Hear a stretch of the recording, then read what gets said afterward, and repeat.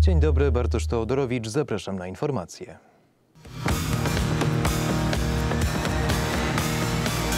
Dwieście osiemdziesiąt osiem zestawów systemu artylerii rakietowej K-239 Chonmu trafi na wyposażenie Wojska Polskiego. Wicepremier Mariusz Błaszczak zatwierdził umowę ramową na dostawę uzbrojenia z Korei Południowej. Tymczasem do Polski już docierają pierwsze dostawy armatochaubic K-9 i czołgów K-2 zakupionych w Seulu. W 2019 roku podpisaliśmy umowę ze Stanami Zjednoczonymi w sprawie nabycia na rzecz Polskich Sił Zbrojnych dywizjonu HIMARS. W przyszłym roku będzie dostawa tego sprzętu. Złożyliśmy także zapytanie ofertowe dotyczące większej, większego zakresu e, tego sprzętu, większych dostaw, no ale niestety ze względu na ograniczone możliwości przemysłowe ten sprzęt nie będzie nam dostarczony w satysfakcjonującym czasie. W związku z tym podjęliśmy rozmowy z Koreą Południową, z naszym e, sprawdzonym partnerem, z naszymi przyjaciółmi, które zaowocowały dziś właśnie podpisaniem umowy ramowej.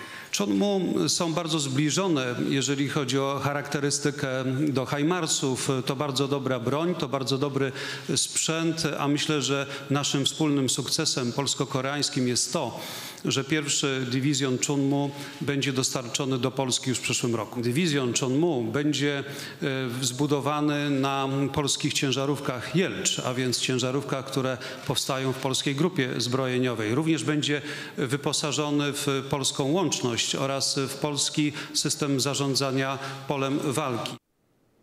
Dobra wiadomość dla miłośników gór. Za kilkanaście dni zostanie otwarty tunel w ciągu Zakopianki.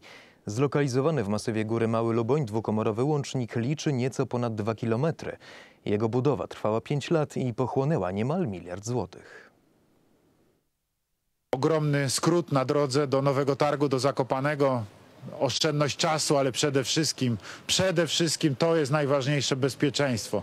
Bezpieczeństwo, bezpieczeństwo i jeszcze raz bezpieczeństwo. Każdy, kto tą drogę wkrótce przejedzie i przypomni sobie, jak było jeszcze do niedawna, doceni tą gigantyczną różnicę, jaka, jaka staje się w tej chwili faktem. Tak nowoczesnych rozwiązań, jak są w tym tunelu, w zasadzie prawie, że nie ma jeszcze w tej chwili na świecie. Tutaj są wszystkie systemy zabezpieczające. To jest niezwykle bezpieczny tunel, przygotowany na różne ewentualności potencjalne, jakie mogą się zdarzyć po to, żeby zapewnić bezpieczeństwo kierowcom, po to, żeby zapewnić bezpieczeństwo podróżującym.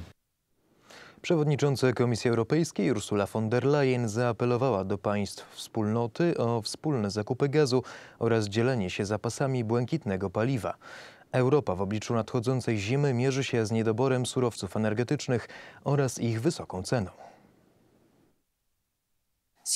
Sytuacja jest szczególnie trudna dla krajów bez dostępu do morza w Europie Środkowej. Na naszym jednolitym rynku z wysoce zintegrowanymi łańcuchami dostaw zakłócenie w jednym państwie członkowskim ma ogromny wpływ na wszystkie państwa. Dlatego dzielenie się gazem w sytuacji kryzysowej ma kluczowe znaczenie. Państwa członkowskie już od pięciu lat mają na mocy prawa unijnego obowiązek zawierania umów solidarnościowych. Jednak do dziś uzgodniono tylko 6,40 możliwych umów. To po prostu za mało. Dlatego wprowadziliśmy wprowadzimy domyślne zasady dla państw członkowskich. Będzie to wiążące, o ile nie zawrą indywidualnych umów solidarnościowych. Solidarność energetyczna jest podstawową zasadą w naszych traktatach, więc wcielmy ją w życie. 38 lat temu funkcjonariusze czwartego Departamentu Ministerstwa Spraw Wewnętrznych bestialsko zamordowali księdza Jerzego Popiełuszkę.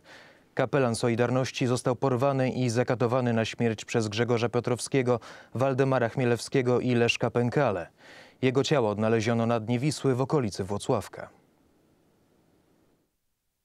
Dzisiaj składamy hołd duchownym niezłomnym, którzy poświęcili swoje siły, zdrowie i często życie w imię ewangelicznej prawdy i dla dobra bliźnich. Wolna Polska zawsze będzie pielęgnować i czcić ich pamięć. Prezydent Andrzej Duda. Postawa księdza Jerzego Popiełuszki wyraża najpiękniej istotę Solidarności. Jest y, dla nas chlubą i zaszczytem wypełniać jego dziedzictwo, jego testament. To jeden człowiek schorowany, który rzucił wyzwanie komunistycznemu imperium. I mimo że to imperium było wielkie i silne, to jego postawa przyczyniła się do naszego zwycięstwa, do odzyskania wolności, do odzyskania niepodległości. Chociaż zabiła go zaciśnięta pięść, to ksiądz Jerzy pokazał, udowodnił, że ludzi zdobywa się otwartym sercem. Czy się bał? Na pewno się bał.